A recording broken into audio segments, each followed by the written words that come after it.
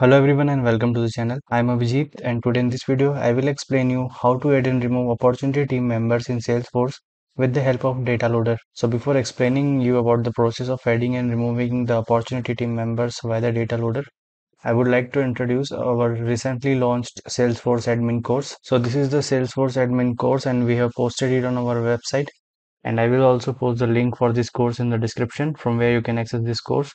So these are the modules that we have covered in this course. So it's a beginner to advanced level Salesforce course and it, there are 9 plus modules and 20 plus hours HD video and you will also get the PDFs and the certification after the completion.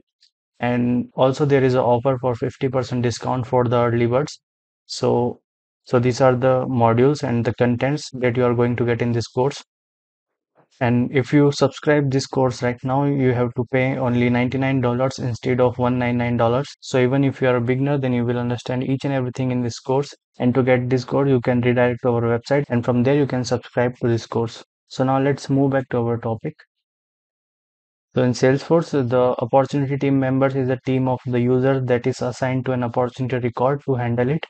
And while adding an opportunity team members in the opportunity record, both an opportunity member and opportunity share record is automatically created. And the opportunity share record is created based on the opportunity access that is selected when the team member is added via the opportunity team member page. So in this video tutorial we will learn the process of adding or removing the opportunity team members via the salesforce data loader tool. So let's move ahead and see the process. So right now i have logged into my salesforce console.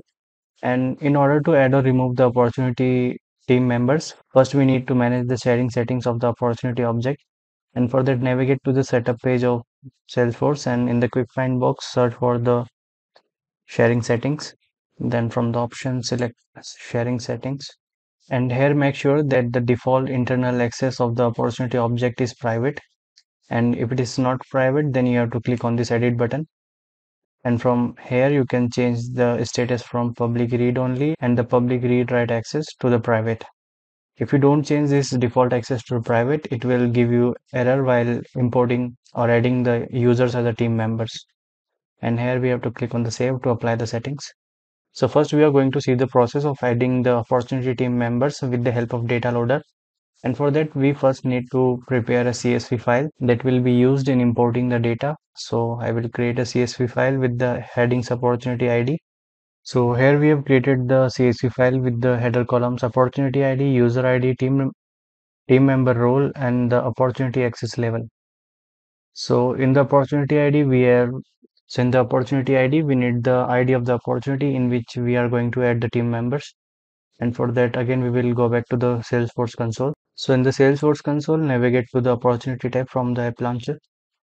And here click on the opportunity tab. And in the opportunity tab select the opportunity record in which you want to add the team members. So for that I will select this record that I'm having in my org Alfred Chemical. And uh, from and from here you can get this 15 digit code starting from 00 and copy this code from here and then paste in and then paste it in the CSV file that we have created right now. And I will keep this opportunity ID same for all the records because uh, because I will add the team members to a simple opportunity record. And to get the user ID it will be better to run a data export from the data loader. And for that I have opened my data loader tool and here I will click on the export button. And after this I will log in with my credentials. And after logging into the data loader in the second step, we will select the data object user and then select the location and the name of the file in which we will extract the data of the users and then click on the next button. And in this step, we have to select the query fields. So here we need the user IDs only. So I will select the field ID and for the reference, I will select the name field.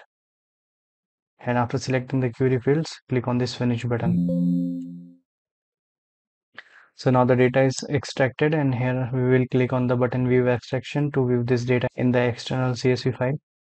And from here we will get the IDs of the users that we want to assign in this opportunity as a team member. So here I will get the ID of these users and here I will paste the ID that I copied from the extracted data and in the team role header column we have to enter the team roles that will be assigned to the users that we are adding as a team member So if you don't have any idea regarding the team member role, then you can go to the Salesforce console. So to get the roles for the opportunity team members, go to the setup page and in the quick find box, search for the roles. And from the options in the drop down, select team roles. So in the team roles setup window, you can see the roles that you can assign to the users and you have to manually enter these roles that you are going to assign to the team members. So now I have entered the team member role and in the last we have to enter the opportunity access level. And here you have three options that either you give read access edit access or you can give the both read and edit access. So here i will give the edit access for all the opportunity team members. And after this save this csv file in your system from where it can be accessed to the data loader. So the csv file is prepared and after this i will again open the data loader. And now in the data loader we will perform an insert operation to add the opportunity team members so now in the data loader, I will click on this insert button and in this step, uh, activate this checkbox show all Salesforce object and then search and select the data object opportunity team members and now browse the CSV file that we have created right now. And after selecting the CSV file, click on the next button. And as we click on the next button, the data loader will initialize the CSV file and display the number of rows in the CSV file and here click on the OK button to proceed. So now in this step, we have to create the mapping between the CSV header column and the object field names. So for that, click on this button create or edit map. And in the mapping dialog window, click on the button auto match field to columns. And in case any of the object field is not auto match, then you have to drag and drop the object field to the column mapping. And after the mapping, click on the OK button, then click on next. And in this step, select the location for the errors and the success files from where they can be accessed later so at last click on the finish button. And now the data insertion will start. And after completion we will get the number of success and errors occur in the data operation.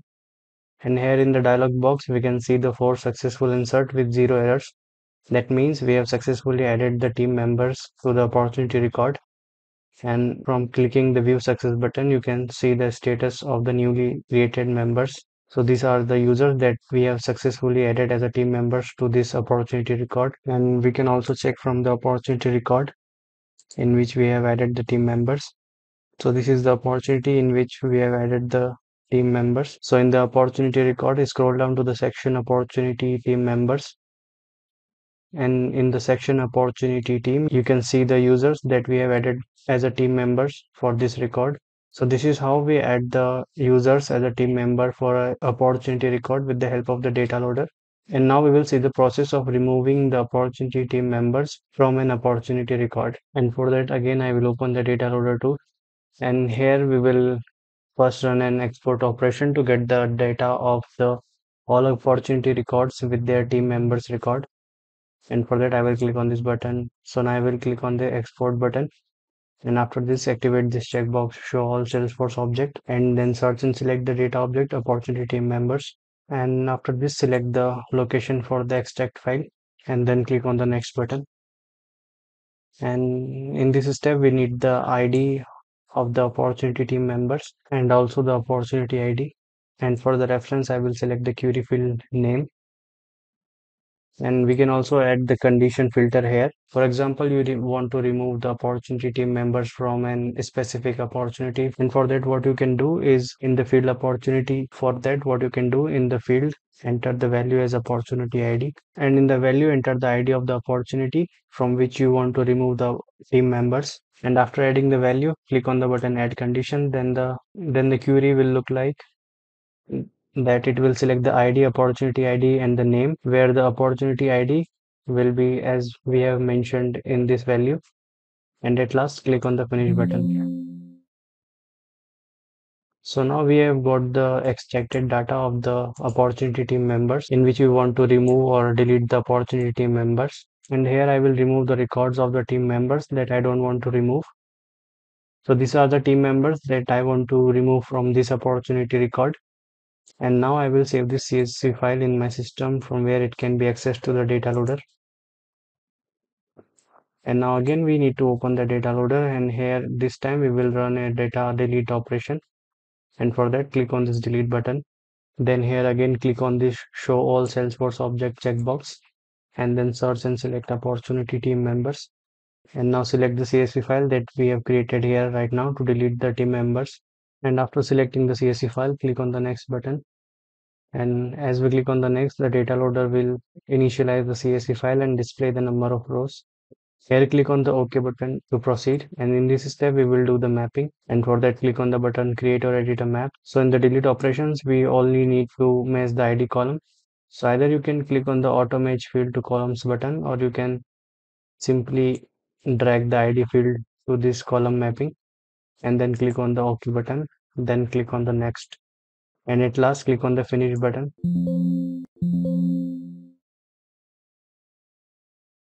So records are being deleted from the opportunity record and from here we can see the status of the deleted records. And in the status column you can see that the opportunity team members is deleted and when we delete a team member from an opportunity record it doesn't mean that it will delete the user from the org it is just that it will remove that user access to that opportunity as a team member and you can also check this in the opportunity record from which you have removed the opportunity team members. So in the section opportunity team, you will see that there are only two members. So in this way, we can remove the opportunity team members with the help of data loader. So that was all about adding and removing the opportunity team members with the help of the Salesforce data loader. And I hope that you liked this video. Then please do like, share and subscribe us and do not forget to hit the bell icon so that you can get the regular updates of our upcoming videos and thank you for giving your time and watching this video till last see you in the next video till then goodbye